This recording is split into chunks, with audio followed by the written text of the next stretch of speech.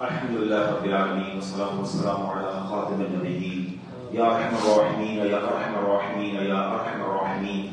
اللهم ربنا آتنا في الدنيا حسنة وفي الآخرة حسنة وقنا عذاب النار. وقنا عذاب القبر وقنا عذاب الحشر وقنا حساب الميزان. اللهم أعني على ذكرك وشكرك وحسن عبادتك. يا مقلب القلوب ثبت قلوبنا على دينك. يا مصرف القلوب، صرف قلوبنا على طاعتك. رب کریم، ہم سب کا نماز فجر با جماعت ادا کرنا اپنی بارگاہ کو قبول فرما. ہم سب کے تمام صغیرہ، کبیرہ گناہوں کو معاف فرما. ہماری، ہمارے ماں باپ کی، نبی پاک علیہ الصلوۃ والسلام کی ساری امت کی بخشش فرما. عاشرہ رحمت ہے مولا. ہم سب پر اپنی رحمتوں کی بارش نازل فرما. رمضان کا دوسرا روزہ ہم نے شروع کیا ہے۔ تیرے کرم سے اے اللہ پورے رمضان کے روزے رکھنا، ساری تراوی پڑھنا ہمیں نصیب فرما۔ اے کریم، اسی رمضان میں ہر بین کئی بین کی حاضریاں بھی ہم سب کو نصیب فرما۔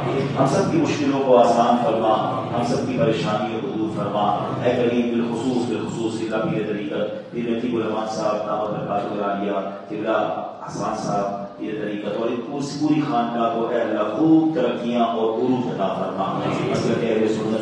سنت اور عروج عطا فرما۔ اے پروردگار مالک کریم، ہمارے وطن عزیز، پاکستان کی خیر فرما۔ فلسطین کے مسلمانوں کی اے اللہ غیر سے مدد فرما۔